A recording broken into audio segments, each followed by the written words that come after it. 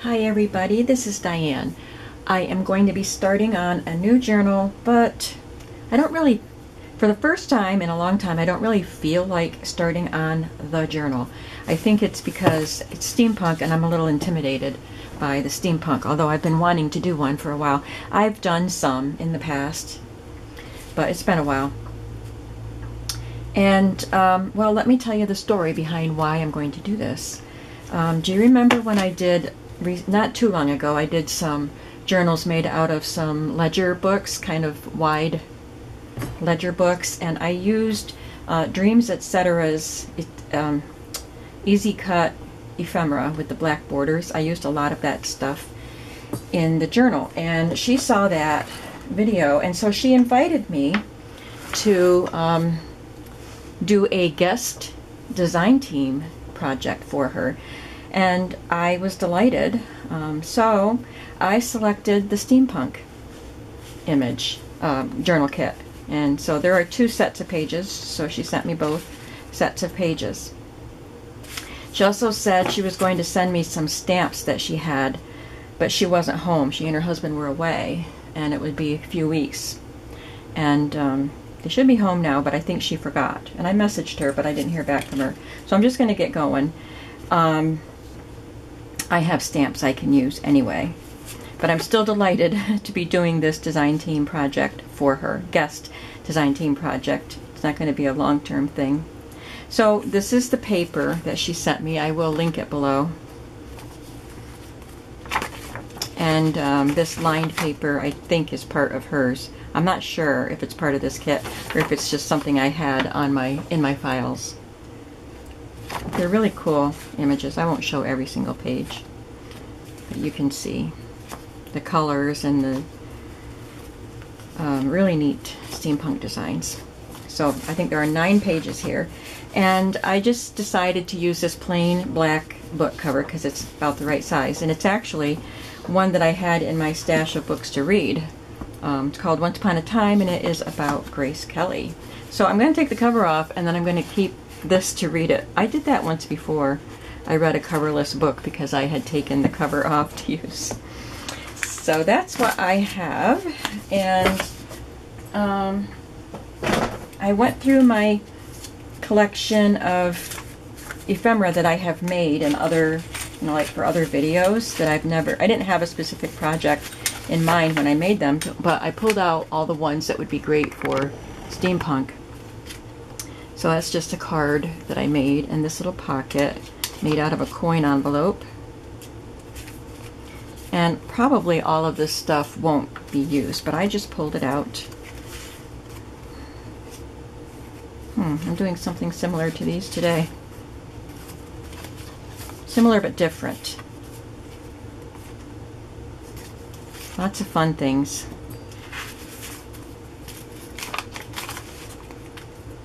And my cork ones, remember when I did the cork stuff?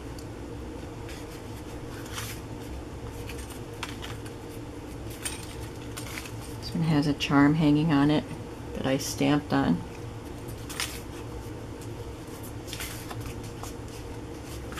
So those are pieces that I made before that would work great for these journals.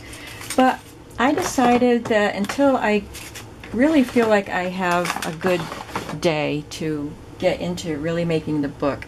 I'm just going to work on making ephemera. And a lot of it won't even make it into these journals because I'll have too much ephemera. But I just want to make the ephemera. Oh, that's another one that was made with my Cricut. So, I have a couple of Somerset inspired ideas today, and I don't know if we'll get to both. We might not be able to do both in this video, but this was the inspiration piece. And I'm sure this is metal. It's a patinaed metal. And it's got a pretty lady and some flowers and this thing dangling off it in beads. Well, I don't have a piece of metal like that. And this is what I made. And this is what I used to make it with. It's a cupcake paper, cupcake, cupcake wrapper. So I'm going to show you what I did. And it was just totally an experiment. And I, I like the way it turned out. You could get a foiled cupcake liner. Um, but I kind of like putting my own silver on it because it wasn't exactly all even. But then that gets covered up anyway with some other. I used three different embossing powders, and excuse my hands, I've, I've been playing in here today. Um, so I used three different layers of embossing powder on this, and well, let's just see. So I need to I don't really need this glass mat here right now because that's for the next project. So I'm just going to cover this, put this here. And here's my cupcake paper. Got embossing powder on it already. I have Versamark. You can use embossing ink, but this is a Versamark watermark stamp pad and you can emboss with that. It stays wet. So I'm just going to rub it all over this. It doesn't slide very easily because it's spongy.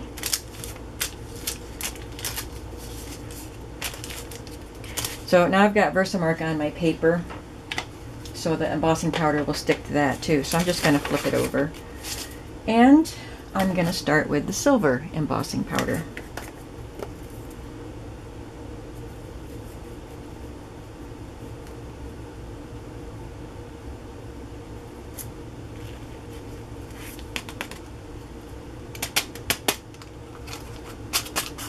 just brush a little off because I don't want it to be completely covered.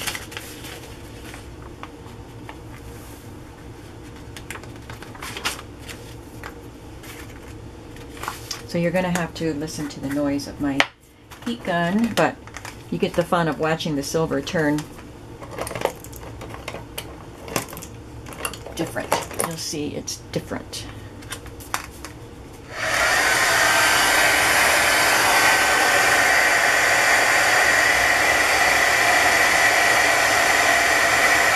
There, you see it go? That's the embossing powder melting and it will stick to the paper now.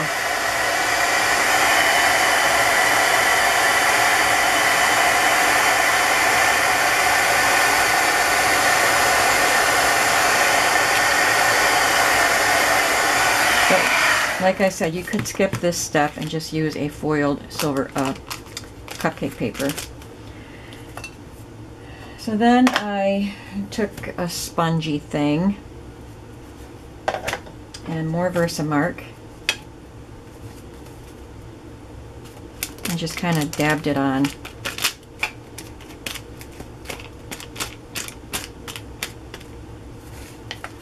And I put copper embossing powder on it.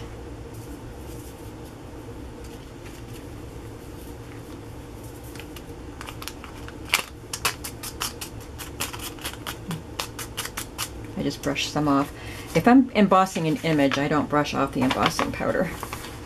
But I want this to be not perfect.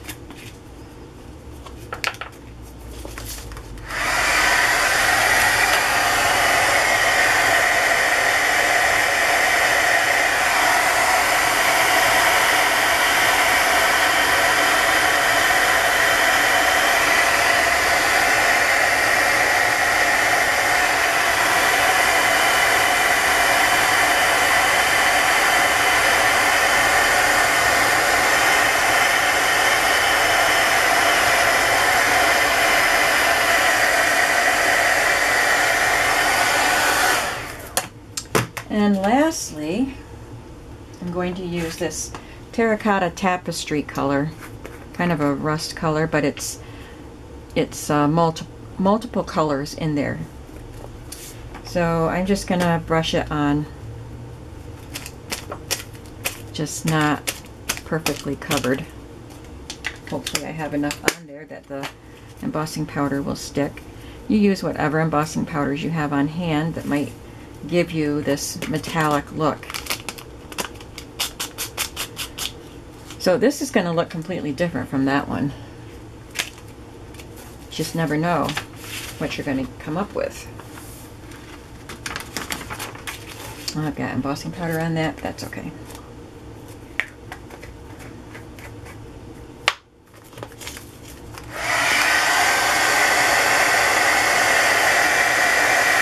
I'm just holding it down with my, whatever this thing is called, stylus, so it, it doesn't move around with the air that's being blown on it. I would burn my finger to hold it with my finger.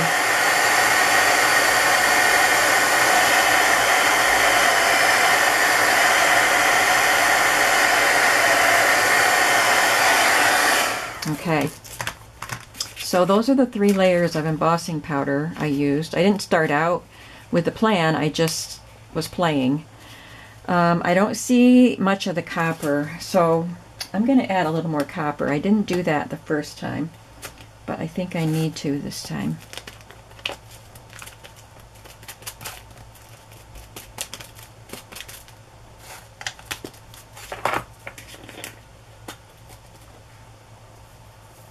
So you experiment on your own. Play around, do what you like. See what you need to add or cover up, whatever the case may be. I don't want to overwhelm the terracotta, so I'll take some of the copper off.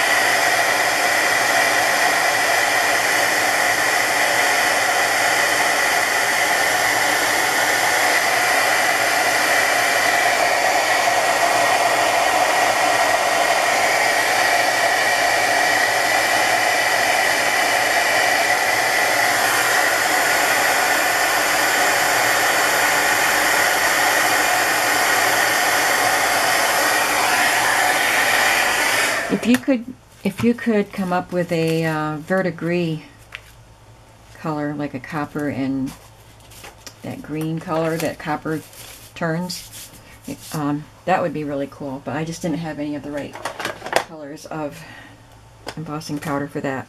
It still looks too pretty and shiny, so I'm going to take my um, archival ink and just rub it on here.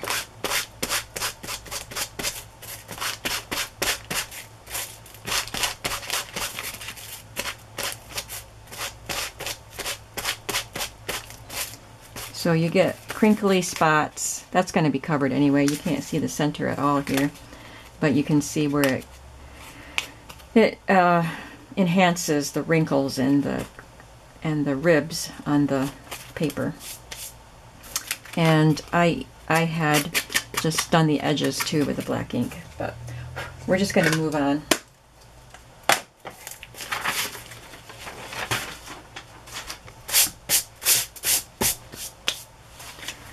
Okay, so I made my mess. Now, I had this uh, fellow stamped and cut out, and he came from the Tim Holtz set, The Professor. Um, and I picked out some gears and things like that, and this just little random number. And I even had this little metal ring that I put around his goggle there. But I thought he didn't really stand out from the back, so that's why I added this scrap from an old record book or a ledger book. This is actually from a bridge score pad.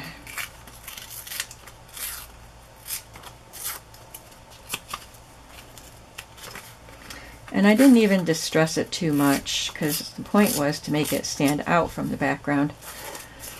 I think I put a little vintage photo around the edge and that was it.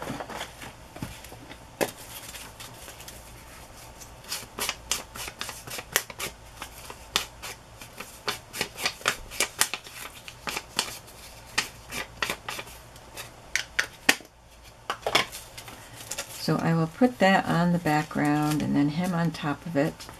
Now I need to find some more gears and things. This bunch of numbers and things that you would see on documents, this is a whole sheet full from uh, the old design shop. So I'm sure I'll, I'll be using those in a lot of projects.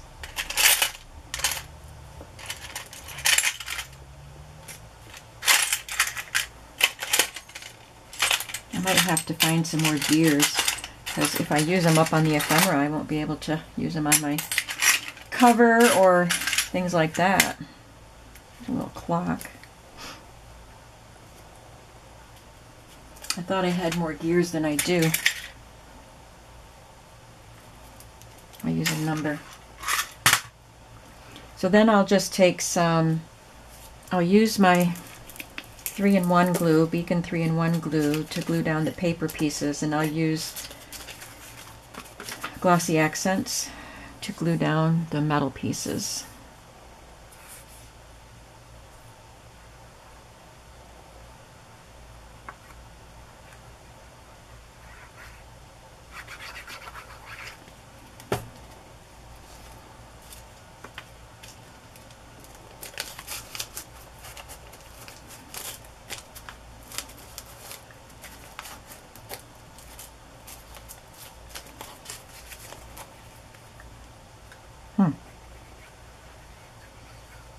Didn't realize I had already stamped on the back of that. Oh well.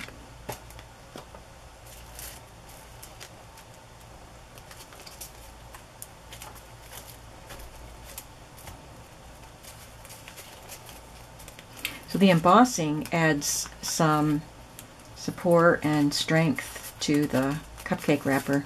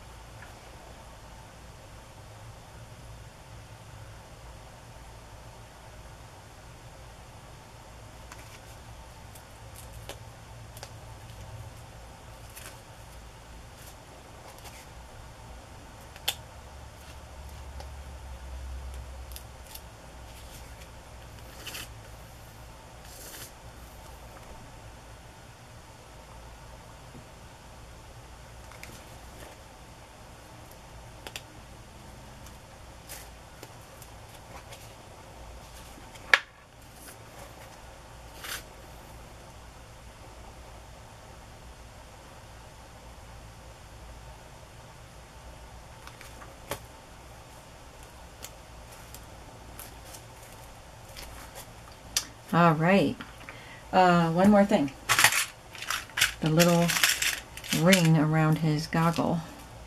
Just for fun. I have to tell you guys about, uh, if you saw my flea market haul from Labor Day, it was so, so cool. Um, but I forgot, completely forgot to mention in that video, that I met someone who watches my videos. She lives not far, less than half an hour from me, I believe. Um, and she and her daughter go to that to the Stockyards flea market regularly, and they look for me. There's only one video on my channel that where you can see my face, and she had seen that recently.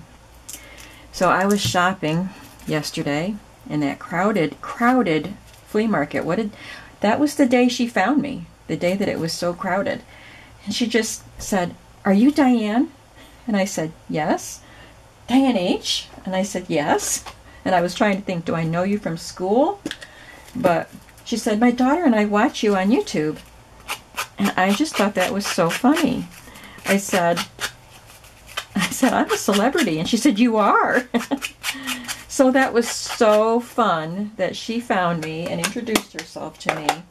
And then uh, I came, we talked a little bit, and then I came upon her again and she was look. Oh my goodness, she was looking at uh, old scrapbook full of greeting cards, and there was a tub of papers there that she had pulled it out of, and I thought, oh boy, when she's done there, I'm going to dig into that. But she was pulling things out that I would like. I said, well, I'm not going to buy them if you want them, and she said, no, no, they're for you. she was finding things for me, and then she was going to go find me and let me know about them. Oh, that was so fun and so sweet. So, hi Becky, it was really nice to meet you. And I'm sorry I forgot to talk about it in the video yesterday. I was just trying to get through my haul. Okay, so the next Somerset inspired project is this. And these are tags with a tag, sideways tag and little tags. So there's three different sizes of tags there. And this is what I came up with for my version. It's a tag with a smaller tag across it and then little tags tucked in. So I am going to show you how I did this. That's why I said those um, other tags that I showed you that I already made. I was doing something similar and that's with the um, distress oxide process here. So I'm going to set these aside. They're pretty cool, aren't they? I like them. Put them in a safe place. Now I need my glass mat. So I already started this one, and I started this one too. And then I thought I need to stop because I need to show you what I'm doing. I just was, you know, once I put the color down for one tag, I was using it for all the tags. So all I did for this was put down vintage, no, wasn't vintage photo. It was frayed burlap. And so there, there's frayed burlap and spiced marmalade. And rubbed it on, rubbed the tag in there. So I'm going to do the same technique, just use two different colors. So now I've got the orange and the, whoops, I'm sorry, the orange and the brown color down. I'm going to use two shades of blue. Looks green here, but that's because it mixed with the yellowish colors that I had. So I have Salty Ocean, and this is Peacock Feathers. And you don't have to have a glass mat to do this. You can just put it on any non-porous surface, like this kind of a mat that's underneath. This cutting mat would work. Um,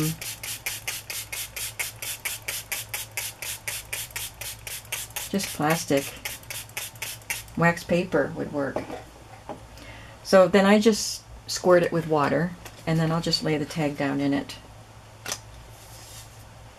and pick it up. Wow, it really saturated it. But the distress oxide mixes together and does this little oxidation thing. It's, you know, it's fake. They're not metals that oxidize, but you know, they're, they're formulated to look oxidized.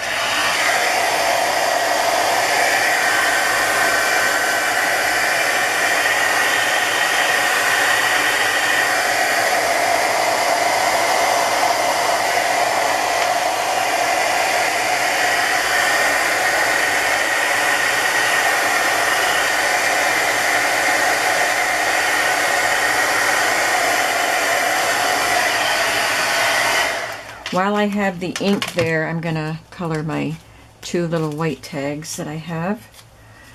I'm going to cut some of these, cut the strings a little shorter.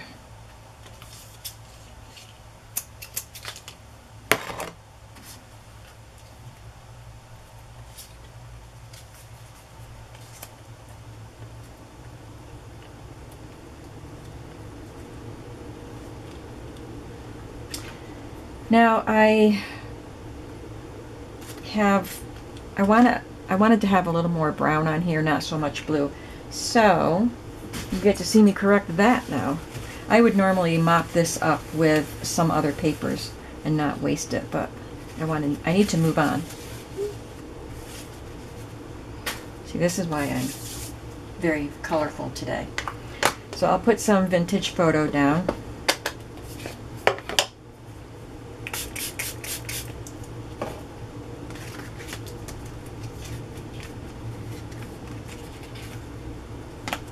It's not a lot, just enough to give me a little bit of brown. I don't even know if that was enough.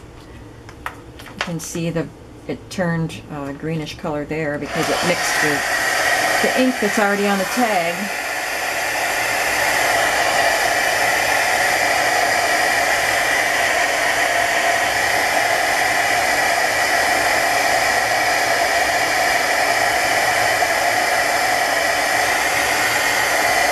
But look at the layer here. Okay, so I'm, I am going to add more texture to it, so I think that'll help too.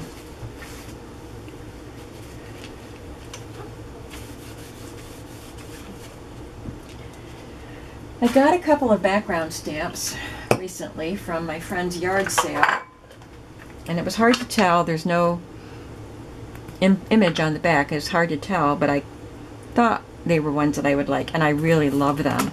I used this one before and loved it. This is what it looks like when you use it like full pattern. Isn't that great? And then I just used it lightly on these.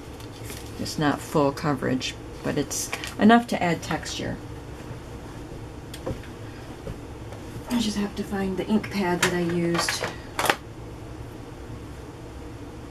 Did I put it away? Pretty sure I used my StazOn Brown. Yep, I put it away. So Here's my StazOn Brown.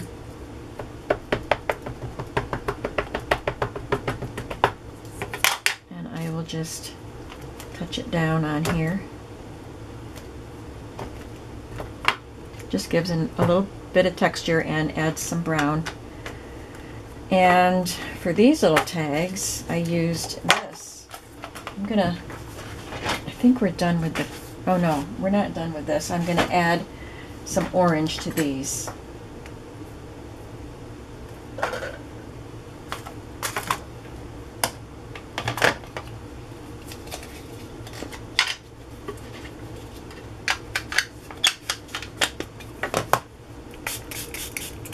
I just had this nozzle turned toward me, so I just sprayed myself.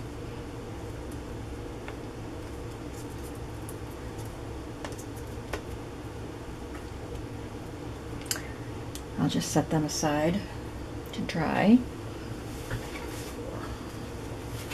I used the crosshatch pattern on the other background stamp on that.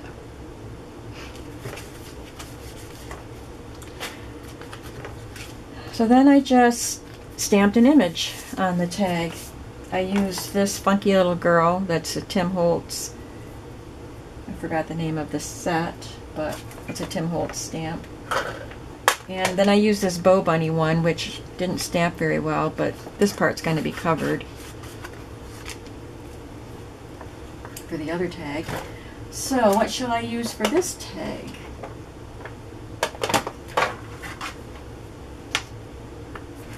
Maybe this guy on the fish. He's pretty cool. And I used my archival black to do these images.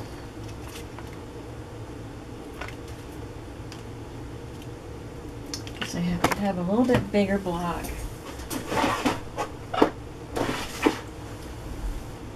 I didn't think I'd have time to do both projects, but we're doing pretty good. I'm doing a really good job. Oh, sorry. Doing a really good job making a mess.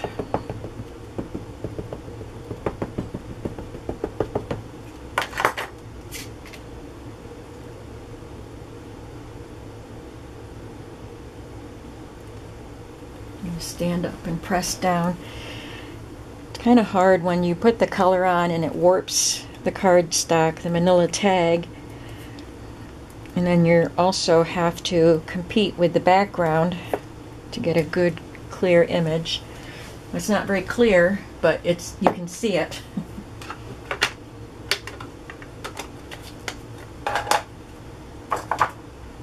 and I will take this fun tag. Now this is a tag from, um, I'm going to move this glass mat off, Victoria Designs, and I just trimmed off the edge that stuck off, and then I stamped this little row of Charlie Chaplin's. For me, they're steampunk guys. And then I stamped this little thing on there. I'm to move this out of the way so we don't bang on it because we're going to do some banging. I am going to apply some eyelets to attach the tag to the big tag. So here's my hammer.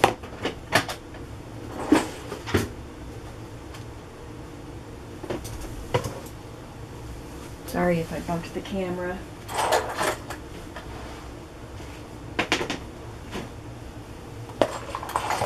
Gonna find all my little tools. This is what pokes the holes. And this is what attaches the eyelet. I think I have everything I need. Except I lost the little needle that I use. I use a little needle to get all the little circles of cardstock out of there. All right, we're set now. I'm going to poke the hole through both pieces at the same time so they're lined up perfectly. I say poke, but I'm going to hammer the hole.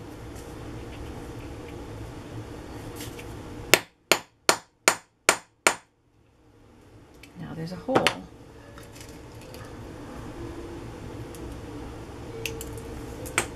It's got the, sometimes I forget to get the pieces out of there and it becomes a pretty thick stack in there. Put the eyelet in there, flip it over, and use this tool. Set that right in the hole of the eyelet.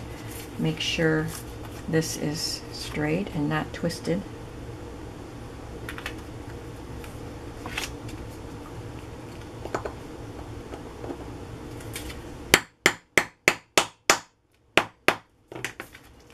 I would do that on all four corners of this tag. I'm not going to do it right now because I don't want you to have to endure the noise. But that's what I did on this tag. You can see it in all four corners.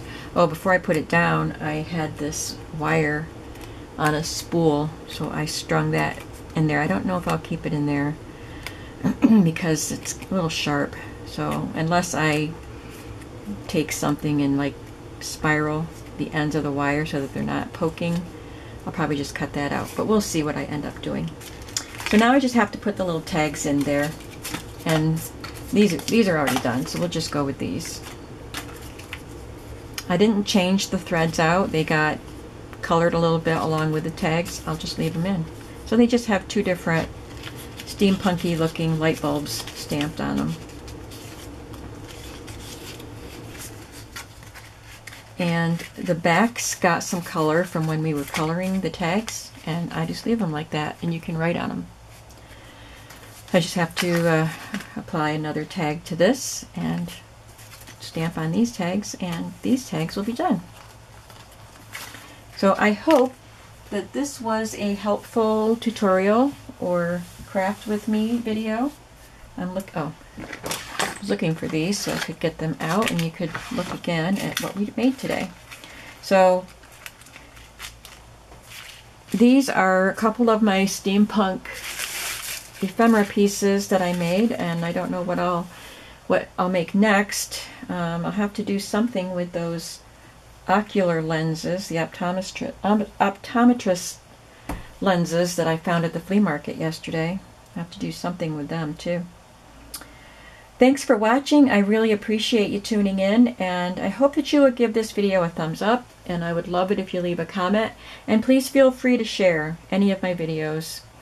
Um, thanks for watching and I'll see you again soon. Have a crafty day. Bye bye.